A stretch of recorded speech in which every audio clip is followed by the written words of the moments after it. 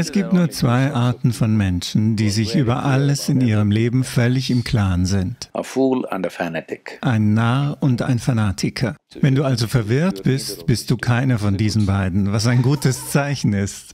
Vollidioten und Fanatiker sind sich ihrer Sache immer absolut sicher. Sie wissen, dass sie in den Himmel kommen werden. Ihr einziges Problem ist, dass sie dich mitnehmen wollen. Sie brauchen Gesellschaft. Das ist eine Sache, die sich überall abspielt, vor allem in der westlichen Welt, aber sie ist heute auch im städtischen Indien im großen Stil angekommen. Das heißt, du willst entschlossen sein. Das ist es. Schau, ich überdenke mein Leben ständig, die ganze Zeit. Soll ich als Sadhguru weitermachen oder soll ich Koch werden oder soll ich einfach wieder Motorrad fahren? Oder soll ich etwas anderes machen oder soll ich Golf spielen? Soll ich irgendetwas machen? Oder soll ich einfach nur faulenzen? Warum nicht? Ich überlege immer, jeden Tag. Und ich entscheide mich immer noch, dass es besser ist, das zu tun. Ja, ich bin nicht entschlossen. Ich bin immer noch am Überlegen.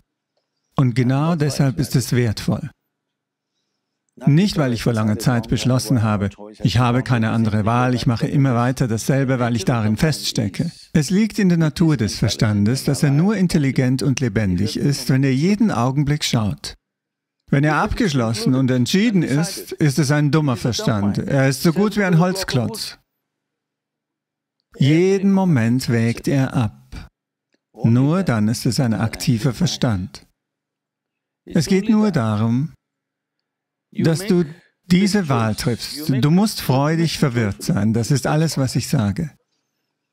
Die Menschen sind verwirrt und unglücklich, weil sie eine Vorstellung haben, wie sie sein müssen. Sie denken, alle erfolgreichen Menschen sind klar und sie sind entschlossen, sie haben ihre Entscheidungen getroffen. Nein, nur Fanatiker sind so und Narren sind so. Jemand, der erfolgreich ist, hält seine Augen nach allem und jedem offen, richtig? Uh, Diese Vorstellung, dass du entschlossen sein musst, ist also eine dumme Idee. Es ist wichtig, dass jeder Moment eine Entscheidung ist. Alles, was du tust, das Leben wird schön, weil es eine enorme Freude ist, weil du das genau jetzt tun willst. Weil ich mich vor zehn Jahren entschieden habe, mache ich es. Wie kannst du Freude an dem haben, was du jetzt gerade tust? Wenn du also jeden Tag morgens aufstehst und nicht weißt, was du tun sollst, ist es eine perfekte Art aufzustehen. Ja, das bedeutet nicht, dass du jeden Tag etwas anderes machen wirst. Selbst wenn du die gleiche Sache tust, ist es eine Entscheidung. Dann hält sie dich für alles lebendig, was du tust, weil du es aus einer Entscheidung heraus tust. Die Entscheidung, die du triffst, ist jetzt. Vielleicht hast du in den letzten zehn Jahren 10.000 Mal dieselbe Entscheidung getroffen. Das spielt keine Rolle. Aber jetzt triffst du wieder eine aktive Entscheidung. Das ist sehr wichtig. Nur dann bleibst du dem Leben gegenüber lebendig. Andernfalls wird, ich habe meine Entscheidung getroffen, zu einer Last. Ich habe meine Entscheidung vor langer Zeit getroffen, also muss ich es jetzt tun. Mit dem zu leben ist ein sehr belastender Prozess. Verwirrung ist also viel besser als dumme Schlussfolgerungen, die Menschen über das Leben machen. Das Einzige ist, dass du lernen musst, die Verwirrung zu genießen. Ja, ich arbeite hart daran, euch zu verwirren. Ja, denn es gibt alle möglichen idiotischen Schlussfolgerungen über das Leben. Alle möglichen dummen Schlussfolgerungen. Schau, für lange Zeit hatten die Menschen die Schlussfolgerung, dass sie in den Himmel kommen werden. In Ordnung? Ich nehme jetzt nur eine problematische Sache, denn die Situation in Afghanistan beunruhigt alle Menschen auf der Welt. Dem Himmel zugewandte Menschen, was sie auf diesem Planeten tun, ist, weil sie in den Himmel kommen, hat, was auf diesem Planeten ist, keinen Wert. Sie kommen sowieso in den Himmel. Jetzt haben Sie es also allen vor Augen geführt. Es ist immer so. Es ist nur, dass die Leute es die meiste Zeit nicht sehen. Aber jetzt, aufgrund der geopolitischen Situation, reiben Sie es dir unter die Nase. Wir kommen in den Himmel, du gehst nicht, also siehst du, was wir mit dem machen werden. Ich werde jedenfalls nicht in den Himmel gehen. Ich werde nicht mit dir um die Ländereien des Himmels konkurrieren.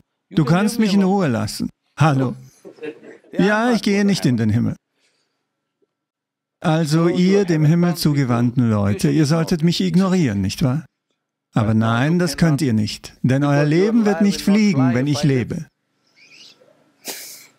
Euer Leben wird nur fliegen, wenn ihr mich loswerdet, nicht wahr? Diese Dinge passieren also, weil die Menschen Schlussfolgerungen haben. Wie sind sie zu dieser Schlussfolgerung gekommen? Wer hat ihnen geholfen, diese Schlussfolgerungen zu ziehen? Ich ziehe hier eine sehr esoterische Schlussfolgerung, aber auch im täglichen Leben passiert das. Jemand glaubt, das ist richtig.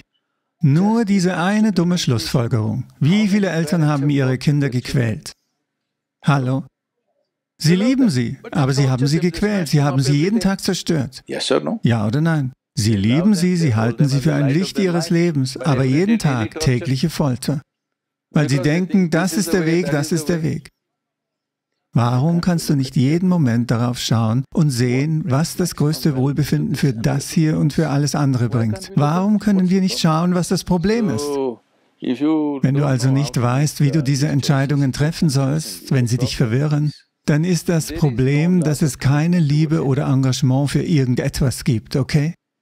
Wenn es ein immenses Gefühl der Liebe zu etwas gibt, werden sich diese Dinge von selbst regeln. Schau, du brauchst keine Moral, du brauchst keine Werte, du brauchst keine Ethik. Wenn du bewusst bist, brauchst du nichts von alledem. Angenommen, das ist nicht möglich. Das nächstbeste ist, dass du ein tiefes Gefühl der Liebe hast. Wenn du das hast, brauchst du wieder keine Werte, du brauchst keine Ethik, du brauchst nichts. Denn was du liebst, wirst du auf die bestmögliche Weise pflegen. Weil die Leute denken, ich denke, ich sollte euch das vorlesen, weil die Leute denken, Liebe ist ein rührseliges Gerede und du weißt schon, der Ich liebe dich, du liebst mich Unsinn, der überall stattfindet. Nein, es ist ein sehr tiefes Gefühl der Integrität und des Engagements, nicht wahr? Wenn du etwas oder jemanden aufrichtig liebst, besteht dem gegenüber ein enormes Gefühl der Integrität.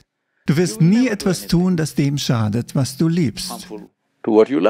Wenn du aufrichtig liebst. Wenn die Liebe ein System des gegenseitigen Vorteils ist, dann ist das eine andere Sache.